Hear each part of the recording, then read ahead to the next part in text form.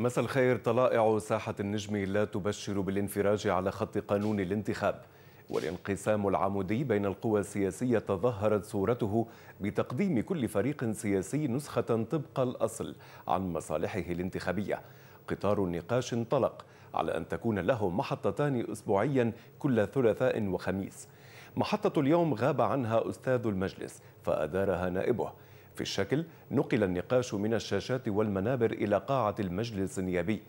في المضمون كل فريق غرد مع سربه فاختلط قانون الستين بالنسبية على أساس لبنان دائرة انتخابية واحدة بالدوائر الصغرى الموزعة على خمسين دائرة. لكن الخبر اليقين كان في عين التين ومرسال من جملات إلى رئيس المجلس أبلغه أن لا قانون يعلو فوق الستين ونعم لإجراء الانتخابات في موعدها. وبينما كان وزراء النضال في عين التين كان الديمقراطي في بكركي في زيارة هي الأولى لرئيسه طلال إرسلان إلى الصرح حيث طالب بالنسبية قانونا لإلغاء طابع التسلط والاحتكار.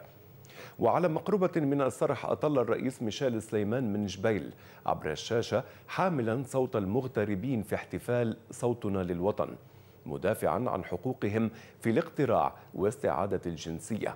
وأبعد من الميناء الجبيلي يحط الصوت اللبناني في الأمم المتحدة والكلمة المرتقبة في الواحدة بعد منتصف الليل بتوقيت بيروت يلقيها رئيس الحكومة نجيب ميقاتي على المنبر الأممي مسبوقة بلقاء ثنائي بين ميقاتي وبان كيمون. لم ينأى عن الآثار الإقليمية والآثار غير المباشرة للأزمة السورية على لبنان. وتحت سقف أممي واحد تحدث كل من الرئيس الفلسطيني محمود عباس وعدوه بنيامين نتنياهو. أما الرد فكان من حماس التي اعتبرت خطاب أبو مازن إعلان فشل لاتفاقية أوسلو وقالت إن عباس كان ضعيفا ومحبطا والأجدر به نعي المفاوضات وعملية التسوية. وفي كلمته أطلق الرئيس الفلسطيني حملة أممية بهدف الحصول على صفة دولة غير عضو لفلسطين في الأمم المتحدة. أما نتنياهو فقد وصف خطاب عباس عن الاعتداءات الإسرائيلية والاستيطان بالافتراء. وتخطى نتنياهو عباس ليترك مجمل خطابه إلى إيران مطالبا المنظمة الدولية بوضع خط أحمر واضح لبرنامج تخصيب اليورانيوم معلنا أن الوقت ينفد لأن طهران قطعت 70% على طريق القنبلة النووية.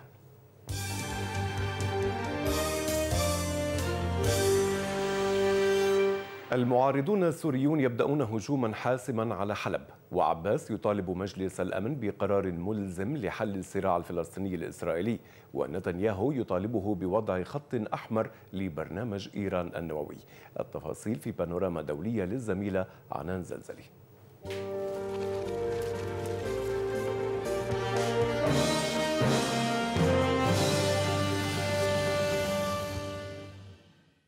باشرت مجموعة مقاتلة معارضة للنظام السوري هجوما حاسما في مدينة حلب في محاولة للسيطرة على كبرى مدن شمال سوريا وريفها. وفيما قال أحد قادة لواء التوحيد المعارض الأكبر في المدينة إما أن تكون حلب لنا أو نهزم أفادت مصادر المعارضة عن اشتباكات عنيفة تدور بين مقاتلين من الكتائب الثائرة والقوات النظامية في أحياء عدة في المدينة لا سيما حيي الإذاعة وسيف الدولة. يشارك فيها مئات المقاتلين المقاتلين الذين سبق ونفذوا سلسلة هجمات على مواقع استراتيجية في المدينة وريفها. تخللتها اشتباكات عنيفة قرب مطار النيرب العسكري في المحافظة. كما هاجم المقاتلون حواجز ونقاط تجمع للقوات النظامية في ريفي حلب الغربي والجنوبي. وبثت مواقع المعارضة مشاهد مؤثرة لمجزرة سقط فيها العشرات من الأشخاص وعلى خلفية الصور صوت معلق ميداني يتهم القوات النظامية بارتكابها. وأفاد المرصد السوري لحقوق الإنسان عن وقوع اشتباكات بين القوات النظامية ومقاتلين معارضين في أحياء الصخور والإشرافية وجمعية الزهراء داخل حلب. وتعرضت أحياء الميسر ومساكن هنانو وطريق الباب في شرق المدينة لقصف عنيف من القوات النظامية. وفي ريف دمشق واللاذقية وحمص ومدينة دير الزور وريف حماة وإدلب. وفي محافظة درعا أعاد النظام اقتحام بلدة المزيريب بعد أن أسر مسلحون معارضون عناصر قسم الشرطة في البلدة بحسب المرصد. ويأتي ذلك غداة يوم هو الأكثر دموية في النزاع السوري المستمر منذ أكثر من 18 شهرا. راح ضحيته ما يزيد على 300 شخص في أنحاء متفرقة من البلاد بحسب المرصد.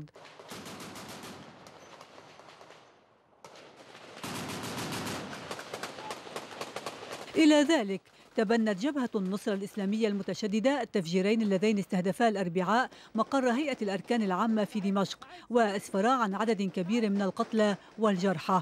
وفي تفاصيل العملية أوضحت الجبهة أن الهجوم نفذ على مرحلتين وبدأ بتفجير انتحاري بسيارة ملغومة قرب المبنى.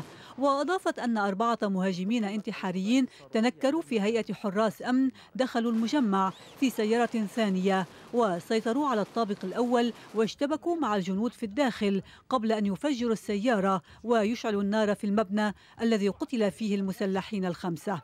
وقد بثت الزميلة المنار صورا جديدة للهجومين والاشتباكات العنيفة التي وقعت بين مسلحين معارضين سيطروا في عملية مزدوجة على مجمع هيئة الأركان في ساحة الأمويين حيث تمكنت لاحقا وحدة عسكرية تابعة للجيش النظامي من إعادة تحريره والقضاء على المسلحين الذين تحصنوا داخل المجمع لبعض الوقت. ومع استمرار طرح الأزمة السورية على هامش الدورة السنوية السابعة والستين للجمعية العامة للأمم المتحدة في نيويورك أطلق الرئيس الفلسطيني محمود عباس حملة لتنال فلسطين صفة دولة غير عضو في الأمم المتحدة مؤكدا ثقته بالحصول على دعم دولي لهذا الطلب.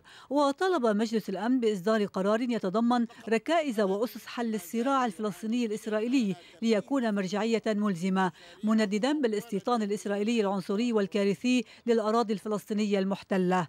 أما رئيس الوزراء الإسرائيلي بنيامين نتنياهو فطالب بوضع خط أحمر واضح لبرنامج تخصيب اليورانيوم الإيراني زاعما أن إيران قطعت 70% من الطريق التي ستتيح لها تخصيب ما يكفي من اليورانيوم لصنع قنبلة نووية وينبغي منعها من الوصول إلى مستوى التسعين. وقد عرض نتنياهو من على منصة الأمم المتحدة رسما لقنبلة يشير إلى مستويات عدة ورسم خط أحمر سميك عليه للتوضيح. قصف جوي للطيران الحربي السوري داخل الأراضي السورية والأوضاع من الحدود اللبنانية في تقرير للزميل باسل العريضي. مشاهد من الحدود الشمالية الشرقية اللبنانية السورية وتحديدا في مشاريع القاع. والقصف هذا يتركز داخل الحدود السورية. إنما بين ساعات العصر والفجر يتغير الوضع بحسب شهادات الأهالي. فالتجوال يصبح مخاطرة لا سيما أن منازل عدة داخل الأراضي اللبنانية كانت عرضة للحرق والتدمير. هلا كنت عم صلح لموالدي هجموا علي هببوا لنا المازوت المازوت وأخذوا لي الحطب ولحقوني بدهم ياخذوني هربت لجوا على على الأرض على لجوا طالنا الرصاص كثير يوميا وما عم نحسن ننام ولا بحسن الواحد يتحرك يعني هيك. حتى بالليل ما في يمشي. 20 متر. حتى إذا مشي على آلية بطفي الضوء بمشي فيها ما في يتحم. حتى بعيد عن الحدود شي 3 كيلو متر هذه المنطقة هي خربة ماقية في مشاريع القاع وتبعد مئات الأمتار عن مراكز الاشتباكات. وعلى الجبهة الأخرى من الحدود أي جرود عرسال. كانت عرضة أيضا لغارات جوية. وهنا تضاربت المعلومات عما إذا طالت الأراضي اللبنانية أم أنها بقيت داخل الحدود السورية. وفي كلتا الحالتين فإن تداعيات الأزمة السورية بدت واضحة على حياة أهالي القرى اللبنانية الحدودية. يبدو أن الطريق طويلة أمام انتهاء الأزمة السورية وفي مشاريع القاع كهذه الطريق لناحية الأمان والإنماء. من خربة ماقية باسل العريضي قناة الجديد. جلسة اللجان النيابية المشتركة تفضي إلى اتفاق على تكثيف الجلسات. النواب فضلوا السجالات على الغوص في مواد مشاريع القوانين المقترحة. تقرير لكريستين حبيب. على بعد ثمانية أشهر من الانتخابات النيابية يسعى نواب الأمة للعثور على قانون تجرى على أساسه هذه الانتخابات إلا أن الاقتراحات المطروحة على جدول أعمالهم لم تحظى بالوقت الكافي للنقاش. فالساعات الثلاث من جلسة اللجان المشتركة سيطرت عليها المداخلات العمومية والسجالات الحامية أحيانا. كذلك الذي دار بين النائبين مروان حميدة وعلي عمار على خلفية كلام حميدة عن فرض النسبية بقوة السلاح ما استدعى ردا من نواب حزب الله. الغريب بالأمر إنه البعض حاول أن يربط رفضه للنسبية بموضوع السلاح في حين دافع عن الأكثرية واعتبر بأن ليس هناك مشكلة مع هذا السلاح في ظل النظام الأكثري في حين أن هناك مشكلة معه في ظل النظام الانتخابي النسبي. أنا برأيي هذا الهدف منه واضح هو تعقيد النقاش وإعاقته وابطائه وصولا إلى آه، الإبقاء على الأمر الواقع الانتخابي كما هو وهو قانون الستين وأن ادعى البعض غير ذلك. وضع مهلة زمنية لدراسة القوانين الانتخابية كان اقتراح النائب سامي الجميل وهو حظي بموافقة ظاهرية إلا أن مدير الجلسة النائب فريد مكاري رفضه على أساس أنه لا يمكن فرض أي مهل على مجلس النواب أو الحكومة. نحن اقترحنا أنه بأول كانون الأول بنوقف المناقشات كنا أخذنا شهرين حكينا ناقشنا فتنا بتفاصيل كل القوانين عدلنا اللازم يتعدل. بنهاية بأول كانون الأول بنحيل هالقوانين إلى التصويت. كرمالتا آه، يصير في حقيقة فرصة بأنه يكون عندنا قانون جديد. وكان الجميل وزميلاه جورج عدوان وبطرس حرب قد تقدموا باقتراح قانون يقوم على تقسيم لبنان خمسين دائرة انتخابية. الهدف من هالاقتراح يلي قدمناه. طبعا يكون في تمثيل صحيح للمسيحيين ولبقية المكونات لأنه نحن حريصين إنه هالتمثيل الصحيح آه، ما يكون فقط لمكونة وتشعر بقية المكونات إنه هي بهالتمثيل آه، في ما عندها ما عندها هي نفس صحة التمثيل. بدنا نسأل اليوم الكتل الثانية ب 14 اذار شو موقفها. ونسأل كتلة المستقبل شو رأيها بهالقانون باستثناء العموميات فيما يخص تأييد الدوائر المصغرة لأنه الدوائر المصغرة كل واحد بفصلها وبقصها على قياسه باستنسابية. فاذا كمان هيدا بيرجع بيأكد يلي كنا خايفين منه إنه هناك محاولة تضييع وقت من بعض الكتل من أجل تفويت على اللبنانيين وتحديدا المسيحيين تغيير قانون الانتخاب. وحده وزير الداخلية بدا الأكثر تفاؤلا لناحية الانتهاء قريبا من دراسة القوانين. المطلب اللي أنا طلبته آخر مهلة أنا بقدر بقدر كوزير داخلية حضر للانتخابات السنة الجاي أنه يكون قانون الانتخاب مصدق عليه بمجلس النواب آخر هالسنة. وافقوا على هالطرح وسيكون آخر مهلة هي آخر السنة. يعني بواحد واحد 2013 بتبلش وزارة الداخلية تحضر لانتخابات 2013 على أساس قانون جديد. وفي المحصلة تقرر عقد جلستين أسبوعيتين لمناقشة اقتراحات القوانين الانتخابية. في مجالسهم الخاصة يكرر النواب أن لا انتخابات في العام 2013 وفي مجلسهم العام يفعلون المستحيل للإيحاء بأنهم مستعجلون عليها. لكن ما يبدو واضحا حتى الساعة هو أن الانتهاء من دراسة مشروع القانون المحال من الحكومة على البرلمان يبقى في خانة المحال. من مجلس النواب كريستين حبيب قناة الجديد. كتلة النائب وليد جملات تعلن رفضها مشروع قانون انتخاب قوى الرابع عشر من آذار من عين التيني. ورئيس الجمهورية ميشيل السيمان يدعم حق المغتربين بالاقتراع في جبيل وغيرها من الأخبار في هذا التقرير للزميل رامز القاضي.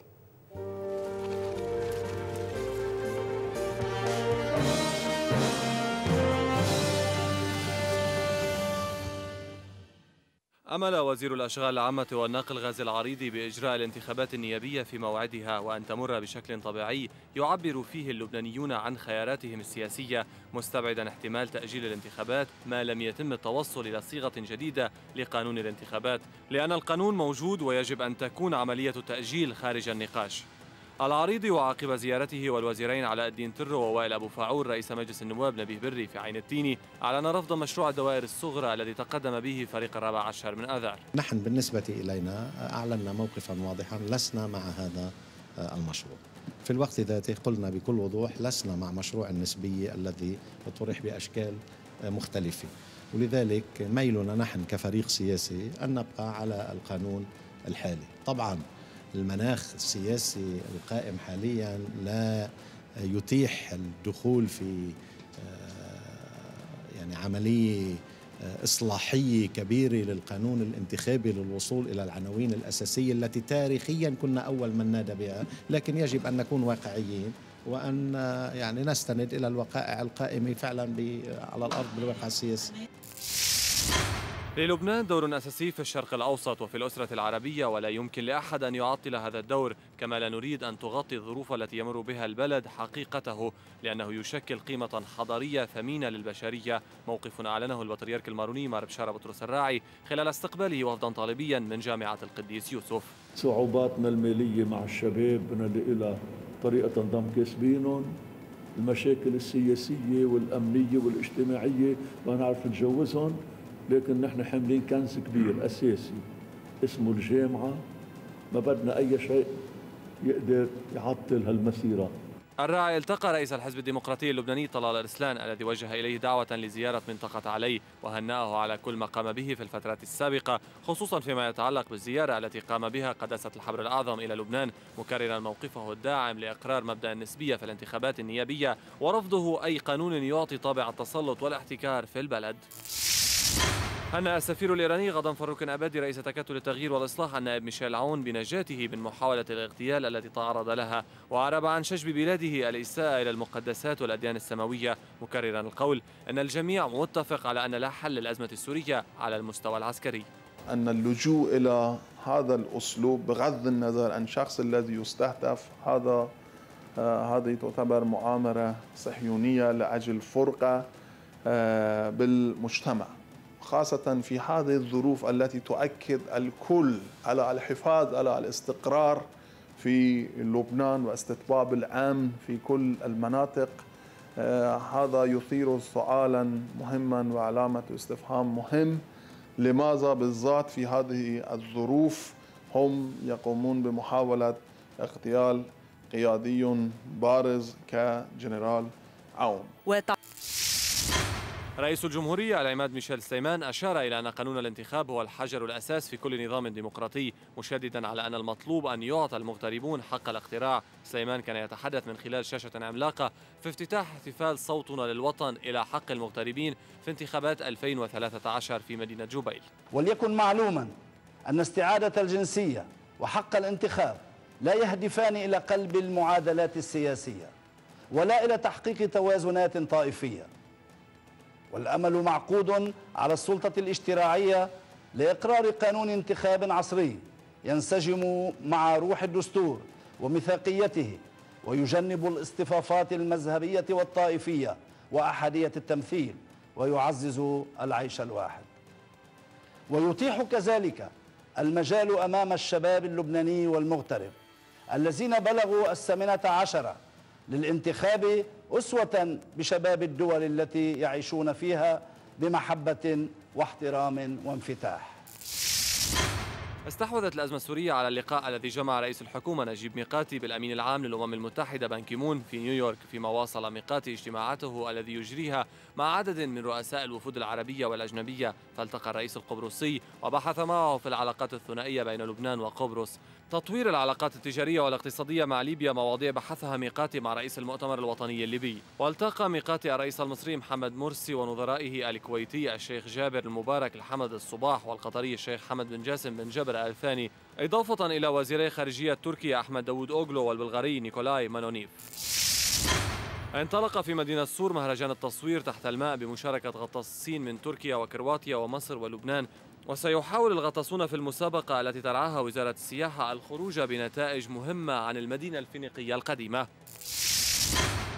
زار وفد من الأمم المتحدة برئاسة الموفد الخاص للأمم المتحدة ديريك بلاملي منطقة البقاع وجال على الحدود اللبنانية السورية في منطقة عرسال وتفقد أوضاع النازحين. والتقى كبار ضباط الجيش اللبناني في ثكنة أبلح واختتم اللقاء في منزل النائب علي المقداد في مقني بحضور رئيس بلدية بعلبك هاشم عثمان ورئيس بلدية مقني فادي المقداد. رد أصدقاء حبيب الشرتوني على استجواب عضو كتلة القوات اللبنانية النائب إلي كيروز للحكومة للنظر في قضية اغتيال حبيب الشرتوني واغتيال الرئيس بشير الجميل واتهامه إياها باللاجدية بالقول أن كيروز ومن هم على شاكلته في القوات آخر من يحق لهم محاكمة الشرتوني فهل نسي الأخير أن رئيسه سمير جعجع أدين بالمؤبد في اغتيال الرئيس الشهيد رشيد كرامي أو أن ضحايا القوات كالرئيس كرامي والوزير توني فرنجي ودوني شمعون هم أقل شأنا من بشير جميل كل صحفي يدخل سوريا معرض للخطر فإذا دخل من جهة الجيش النظامي هو مهدد من بعض الجهات المعارضة وإذا ألقي القبض عليه مع المجموعات المعارضة يصبح متهما ماذا حدث يوم اختفى مراسل قناة الحرة بشار فهمي وتوفيت الصحفية اليابانية في حلب في أول أيام العيد؟ ومن هي الجهة التي أخفت بشار؟ تحقيق كانت قد أعدته الزميلة نوال بري من سوريا.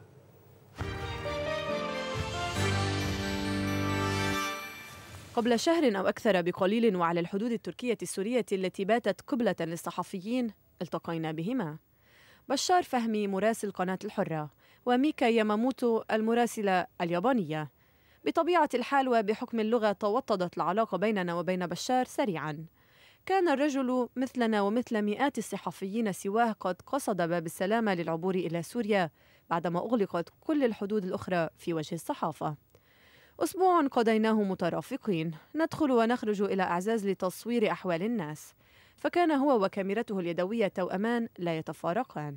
وقبل يوم من العيد قررنا العودة إلى لبنان. أما هو فقرر الدخول إلى حلب مع مصور القناة التركي جنيد أونال. في هذا اليوم قتلت ميكا ياماموتو وأصيب بشار واختفى. وقد نفى الجيش السوري أن يكون في عهدته. أما جنيد فظهر على التلفزيون السوري معترفا أو ربما مرغما على الاعتراف Silahlı grupla birlikte geçtim Ezes köyüne. Yanımdaki grupların hepsinin elinde silah var. Ee, silahlı grupların içinde Çeçenli, Libyalı, e, Katarlı, Suudi Arabistanlı silahlı gruplar vardı. Ezez'den sonra Mari Tarafat ما الذي حدث هذا اليوم؟ هي الرحلة نفسها التي كنا قد قمنا بها سابقا للدخول إلى حلب أي الاتفاق مع سائق فان من أعزاز للذهاب بجولة إلى المدينة عبر الطرق الزراعية فكانت الانطلاقة من عزاز تركي ما بيعرف أي ك- كلام عربي. راح مع الأستاذ بشار الاستاذ بشار ما تعرف قبل بنهار العيد بعزاز مع واحد حلبي. قيلوا أنا بفوتكم لحلب ولمنطقة أما- أمان وبتصوروا وبت- اللي بدكم اياه كله بتصوروا وبتعملوا أخبار وبت- وبرجعكم بأمان. ليه برأيك ما طلع عنه حس يعني هو كانوا مع بعض؟ كانوا مع بعض. هي اللي بعد ما عم نعرفه إنه ليش ما عم يفروا بقى جريح وبالمستشفى ما عم يقروا فيه أو عشاني أصله بالأصل فلسطيني ومعه جواز أردني. خبروني إنه نروح العزاء مشان رح نضل ثاني يوم لحلب يعني نطلع. حلب قلت لهم ما في مشكلة. أخذتهم أخذت معي المصور يمكن اسمه جنيد حسب ما بتذكر يعني وراح نام عندي. الشاب اللي من المنطقة من عنا اخذه على حلب سألته أنا هي الصورة يعني منين طلعت وحامل؟ يمكن كانت مفبرك قال لي لا هو الشاب شاف الشباب بجيش الحر وحب يحمل هيك لتصور صورة للذكرى يعني. التلفزيون الياباني عرض آخر ما صورته ميكا حيث يظهر بشار معها في الفان ورحلتها في الأحياء السكنية حيث تحدثت مع الناس. السلام عليكم. Hello. Hello. سلام かわいい. 何. إلى أن أطفئت عدستها مع بدء إطلاق النار. زميل ميكا وهو زوجها السابق استطاع الفرار والسائق الذي كان معهم. وقد أخبر السائق الجديد تفاصيل هذا النهار المشؤوم. كان معي بشار قبل بالنهار قال لي بكرة بدنا نسوي موعد ننزل لحلب فيه ونشوف اللي عم بصير بحلب قلنا له ما في مشكلة. اتفقنا على موعد كان هو 9 الصبح. أطلع للبوابة التركية جيبه ونطلع لحلب. بهالأثناء هذا بتجي طيارة ميج تجي بتص- بتقصف قريب من المكان اللي نحن موجودين فيه. طلب بشار والصحفية منه إنه بحيث يطلعوا معهم. الشباب ما رادوا يطلعوا معهم جيش الحر إنه منطقة ما هي آمنة ما هي محررة وقريب عليها سكنة هنان وعم بيصير منها قصف فقال لهم ما بنصحكم تطلعوا. فأصر بشار انه إنه بنطلع ما في مشكلة برفقتكم نحن مو بدنا نمشي معكم كذا إلى آخره. قالوا له okay. قالوا له okay تفضلوا اطلعوا. طلعنا في السيارة. طلعنا في السيارة ووصلنا لمكان يعني ما عاد تحسن تتقدم فيه السيارة أكثر من هيك. فصفينا السيارات ونزلنا من السيارات. فجأة طلعوا لباس مدني وجعبة وبريدة. افتكروا إنه قسم منهم افتكر إنه جيش حر. فالصحفية هون توزعوا يعني كل من راح باتجاه بشار الصوب بكتفه وأخذوه هن أسير كان جنيد وكان بشار. المصور التركي ما زال رهن الاعتقال ولا أنباء عن بشار حتى الساعة بالرغم من تأكيدات البعض بأن الجهة نفسها هي التي سحبت كلاهما من المكان. وهذه الجهة بالنسبة لهذا البعض هي جهة مجهولة معلومة. من أعزاز السورية نوال بري قناة الجديد. مشاع هي حملة للمطالبة بالأملاك العامة والبحرية تنطلق يوم الجمعة من سان جورج تقرير للزميل رامي الأمين. للفنان أحمد قعبور الذي لحن أغنيات من مستوى البلد ماشي ولعيونك أغنية قديمة يقول فيها إن رصيف البحر مش لحدا رصيف البحر لكل الناس. بيد أن البحر ورصيفه في منطقة ما يسمى بالزيتونة باي يبدوان لناس دون ناس. ولهذا السبب أطلق ناشطون وناشطات حملة مشاع للمطالبة بالأملاك العامة لكي تكون مساحات تلاق بين اللبنانيين على مختلف انتماءاتهم. لحد يعني الزيتونة باي شو؟ خاصة؟ زيتونة باي هي مكتوب عليها private property رجوة طعمي ناشطة في الحملة. تقول إن الهدف منها توعية الناس إلى حقوقهم في المساحات العامة التي سيطرت عليها شركات خاصة بتواطؤ من الدولة هون تصوير في مجال نحن على الرصيف بس هون ما في مجال مين انت؟ مين انت؟ أنا موظف اداره سودان الا لا سوليدار نحن فايتين نصور جوا وهي ما لها بالحق حدا تفضل فوق دق لهم يلا خليك أول شيء هدول الأماكن كلهم كان مكتوب عليهم ما بعرف وينهم على فكره بس مكتوب عليهم private property هيدا الشيء مفروض ما لهم حق أول شيء يحطوا عليه إنه هيدا مكان خاص هيدا مكان عام ولازم الناس يقدروا يفهموا إنه هون فيهم يعملوا اللي بدهم إياه. فيهم يجروا فيهم يقعدوا فيهم يشربوا فيهم يغنوا فيهم يحطوا موسيقى فيهم يأرجلوا فيهم آه، ياكلوا عرانيس. ليش الكورنيش بدها تكون مفتوحة للجميع وهون؟ لا هيدا كمالة الكورنيش وهيدا الشيء كله مفروض يكون عليه عالم شعب. حاول ثلاثة شبان بإعاز منا التصرف بحرية على الرصيف البحري الذي من المفترض أنه ملك لكل الناس. دخلوا من دون أن يعترضهم أحد وحينما بدأوا بافتراش الرصيف البحري للجلوس استنفر رجال الأمن الخاصون بشركة سوليدار وأعلموهم بأن الجلوس هنا ممنوع. ثم ما إن شاهدوا الكاميرا حتى أصبح الممنوع مسموحا.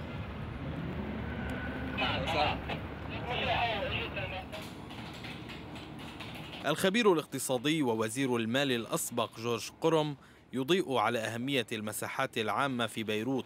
التي وقعت ضحية جريمة كبرى تدعى سوليدار ففي معظم الدول المتمدنة آه، الوصول إلى البحر هو حر لجميع ال- الناس. آه، ولا ولا يدفع آه، المواطن أي شيء لكي يصل إلى إلى البحر. البحر ملكيته بنهاية الأمر. آه، كما أنه نحن نعلم آه، كيف آه، صار في ال- التجاوزات حول ال- القانون الأملاك البحرية آه، آه، ولم يعالج الموضوع منذ سنين وسنين. صار في قوانين آه، مشحفة طبعا بالإضافة لقانون سوليدار وبما أنه سوليدار دولة ضمن الدولة آه، بتحصل من مجلس الوزراء على كل ما تريده. وتتصرف كأنه ليس هناك لا ملك عام ولا ملك خاص. أنت في بدك تصور مدينه الزيتونه ما مصور هون على الشارع على الطريق. هيك فيك تصور بس لعنا ما فيك تصور. بده يكون معك شو لعندكم؟ على المطاعم. ما مصور المطاعم مصور هيك. هيك قد ما بدنا ليش شو في بالمطاعم يعني؟ بده يكون معك اذن فيك تصور. نحن الناس يقول قعبور في أغنيته ذاتها والناس إذا ما أرادوا فعلوا. وهم مدعوون كلهم إلى حفلة إطلاق حملة مشاع في منطقة السان جورج الجمعة في الساعة الثامنة مساء. رامي الأمين قناة الجديد. حركة مرسي تثير عاصفة على اليوتيوب وعلى الفيسبوك انتقادات لسحناوي وجوجل الخاسرة بسبب المقاطعة تحتفل وأخبار أخرى من مواقع التواصل الاجتماعي مع الزميل إبراهيم الدسوقي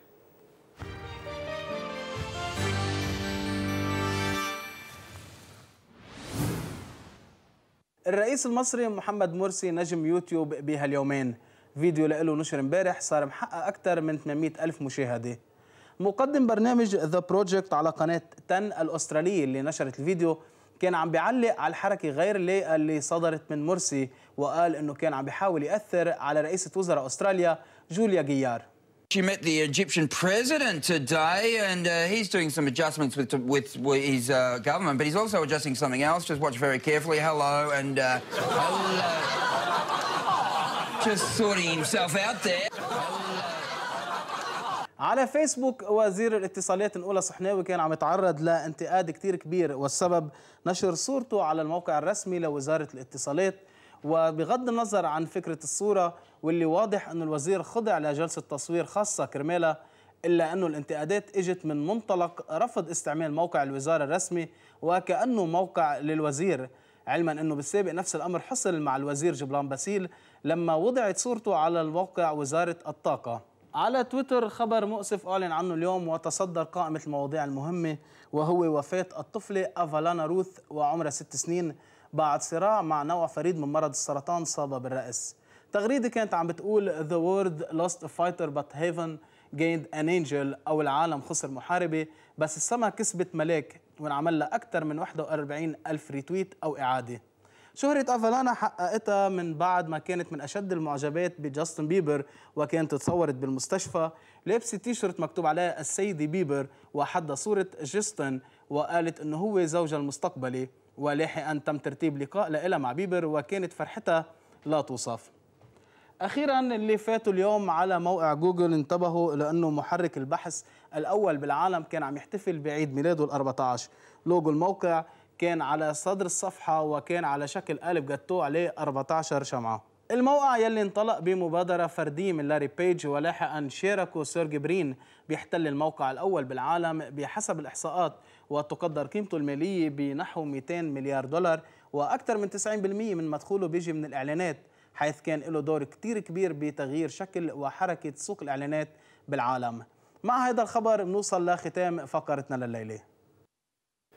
بعد أربعة أشهر من الخطف في سوريا كيف يصف المخطوف المحرر عوض إبراهيم يومه الأول في منزله في الضاحية استقبلوا البطل! استقبلوا فارس الفرسان! هذا الحلم عندهم صار محمولا على الأكتاف وسط فرحة نغص على أصحابها بقاء تسعة لبنانيين مخطوفين في سوريا. وصل عوض إبراهيم المحرر الثاني من بين أيدي أبو إبراهيم إلى منزله مساء الأربعاء. وصباحا جلس عوض محاطا بالأصدقاء والأقرباء أمام منزله في حي السلم بالضاحية الجنوبية لبيروت. يتلقى التهنئة من هذا ويرد على أسئلة ذاك. أما تفاصيل الليلة الأولى بعد غياب قصري دام أربعة أشهر فينقلها إلينا المخطوف المحرر ليتشاطرها معه المحرر الأول حسين عمر الذي أتى للإطمئنان إلى صديقه وإلى أخبار المخطوفين الرهائن الآخرين.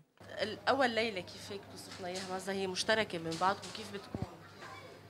أي ساعة للخمس الصبح أنا قاعد أنا وعائلتي للخمس الصبح. يعني النهار ما ما بينوصف عن جد ما بينوصف. بس مثل ما عم بيقول خيي أبو علي إنه عقلي كله عند التسعة. إن شاء الله يا رب يجوا لأنه صدق نفسيتهم كثير تعبانة كثير كثير مش شوال. شو وصلوا الشباب هيك رسائل خاصة؟ ما عرفوا فلين ما عرفوا فلين يعني الطريقة اللي طلعونا فيها ما عرفوا فلين مثلا قالوا لنا ناقلينكم حلب وصلنا على مطرح نزلوه. الصدفه أنا قوم لنادك عند الحكيم بين رفقاتي عبونا الحكيم ترى الحكيم جابوني عند أهله. يعني ما عرفوا إنه فالل لا بعد لحديت هلأ ما تأقلمت مع بعدني عم بطلع ساعتين الصبح وأجي على البيت. يعني شوفير تاكسي. بطلع ساعتين الصبح وبرجع ضايج هيك يعني بعدني وبالليل شيء بتغطى عيني بشوفه نحوالي العشرة.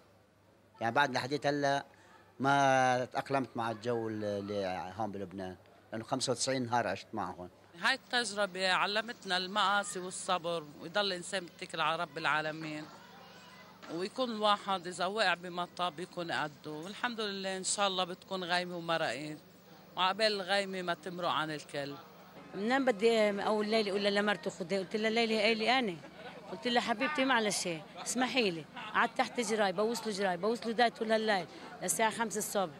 قلت لها معلش اسمحي لي بس هالليله يا ماما أنا انت مثل بنتي بس أنا يعني قلبي لها مشان ابني أنا صرت لح ضيعت ما عادش عرفت. يعني بدي عيط لأسامي اولادي عندي سبع شباب عيط لمين؟ لا يا عوض له هو. وهو مش موجود. وفي أثناء حديثنا إلى عوض أصيب بعارض صحي فسارعت الزوجة إلى إحضار الأدوية. هذاك هويلك؟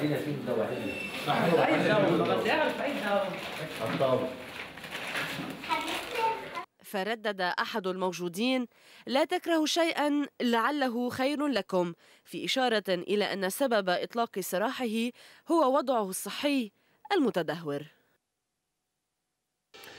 الآن ننتقل لمتابعة آخر أخبار النشرة الفنية والزميلة دارين. مساء الخير. مساء النور. كيفك؟ منيحة. ماشي الحال؟ اليوم حلوة الكرافات. حلوة. لونت لك وجهك.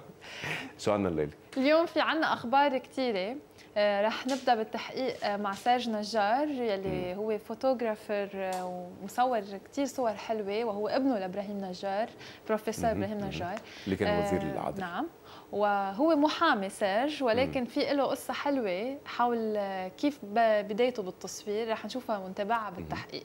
أما بالبانوراما لليلة ففي عنا أخبار آه، كمان حلوة عن سيلين عبد النور عن أمل حجازي وصورة بنتها لأول مرة رح يشوفوها المشاهدين وعن كيم كارداشيان.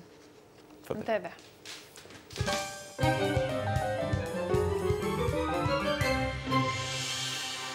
إذا راسانا في المحاماة كما في التصوير.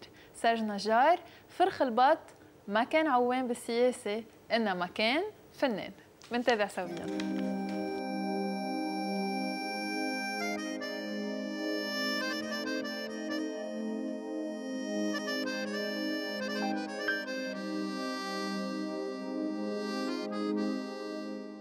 سيرج نجار محام مشى على خطى والده البروفيسور إبراهيم نجار إلا أنه اكتشف مؤخرا ميله إلى فن التصوير فلم يكتفي به كهواية بل أتقنه من خلال دراسة جامعية. سيرج نجار نحن اليوم موجودين بأول معرض لإلك. آه، رح نشوف photos. أول ما تطلع عليهم بتحس في des formes géométriques précises وبعدين بتصير تغوص أكتر وأكتر كل ما تطلع على الصورة. خبرني مشوارك قد إيه عمره وامتى نبلش؟ سنة ونص. وبلش وقتها آه، بلشت آخذ كورات تصوير. آه، ما كنت ابدا مفتكر إنه أنا أقدر آه، يعني صور أو يمكن أعمل création ووقتها بلشت آخذ كورات صور. كمان حطيت programme اسمه انستغرام انستغرام الانستغرام هو مثل تويتر بس مثل تويتر بس للصور. أه وصرت حط صوري يعني على انستغرام أه يعني آخذ architecture لأنه يمكن حبيت ال architecture وحطهم. بس هون كنت عم بعدك عم بتصور بال بالموبايل. بالموبايل. وكان بعد يعني آه، جمانة جمهوري اللي كانت تعلمني آه، بال بال USJ تقول لي حش بقى تاخذ صور بهالموبايل. تعلم تت- تستعمل هالكاميرا. إلا أنا ما بعرف إذا مرتاح للتكنيك بعد. أنا مرتاح إنه آخذ الصورة بشكل عفوي. وقلت لي إنه كانت الصورة تقريبا عم بيجيك عليها بال بال 4000 و 5000 like بال هلا أول ما تنزل على أول شيء الواحد ما بيكون عنده كثير ناس عم بيلحقوه يعني followers أه وشوي شوي بصير عنده followers بس كثير حلو واليوم عندي أكثر من 13300 follower وصرت بعدين آه، حط صور وياخذوا شهره واتصلوا فيي من قبل انستغرام قالوا لي آه، هو وين مركزه انستغرام؟ بنيويورك. نيويورك آه، بفتكر نيويورك أو كاليفورنيا يمكن بأمريكا آه، قالوا لي بدنا نعمل article عليك آه، نفسر شوي شو هال ال- يعني شو هال mystery هيدا اللي- ليه بتحط صور أنت عندك هالقد likes وفي ناس عندهم يمكن 50 ألف follower معروفين أكتر. بحطوا صورة بيطلع لهم 200 like أو 300 like so عملوا article حطوه على ال blog. تبعهم آه، وفرجوه ل 30 مليون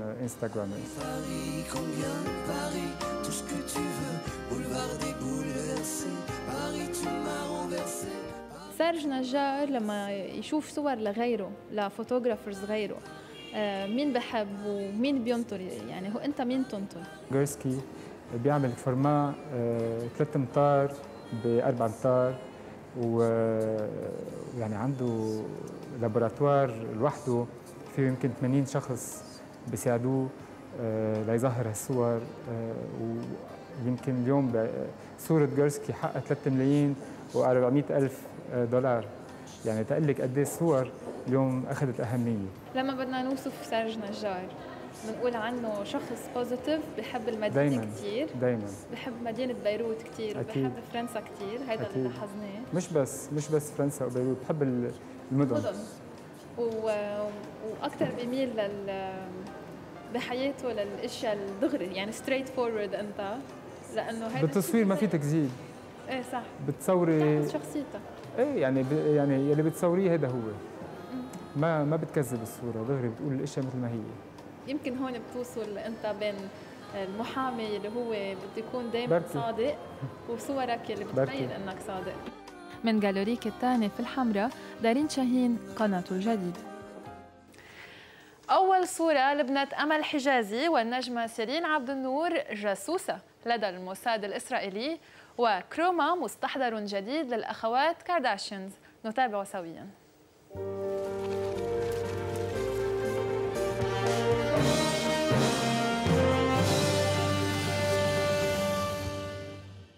نشرت الفنانة أمل حجازي على تويتر الصورة الأولى لابنتها لاران وتلقت أمل تعليقات معجبيها الذين هنأوها بالمولودة الجديدة وتمنوا لها الصحة والسعادة. ونحن بدورنا منقول لك مبروك. أكدت النجمة سيرين عبد النور أنها تعاقدت مع التلفزيون المصري لإنتاج مسلسل فتاة من الشرق حيث ستجسد دور الجاسوسة المصرية أمينة المفتي التي وصلت لمناصب سياسية رفيعة وهي أشهر شخصية جاسوسية في الموساد الإسرائيلي. من جهة أخرى كشفت عبد النور أن أغنيتها الجديدة حبيبي ستعرض قريبا بعدما صورتها فيديو كليب. بعد إطلاقهن المجموعة الخاصة بالثياب والأزياء تحت عنوان collection كارداشيان عبرت الشقيقات كارداشيان عن سعادتهن بإطلاق مستحضرات تجميل من توقيعهن. فلقد انشغلنا في الفترة الأخيرة بتحضيرها واخترنا لها اسم Khroma Beauty هذا كان كل شيء يعطيك ألف عافية. ثانك يو شكرا لك. والآن طبعا تذكير بأهم ما كان في نشرتنا. قانون الانتخاب مكانك ناقش. طرحنا نحن بالجلسة أنه يكون في مهلة زمنية بينتهي فيها النقاش ويحال القوانين بالحالة اللي هن فيها إلى التصويت. الغريب بالأمر أنه البعض حاول أن يربط رفضه للنسبية بموضوع السلاح. وجنبلاط راغب في الستين. قصف ما وراء الحدود. طالنا الرصاص كتير يوميا وما عم نحسن ننام ولا بحسن الواحد يتحرك يعني هيك. وكان في الخاص الصحافة في مرمى نيران الحروب. هكذا هوجمت الأركان.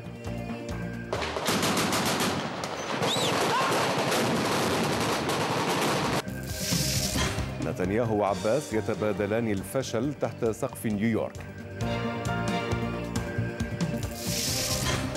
وكان في النشر ابن الوزير فنان.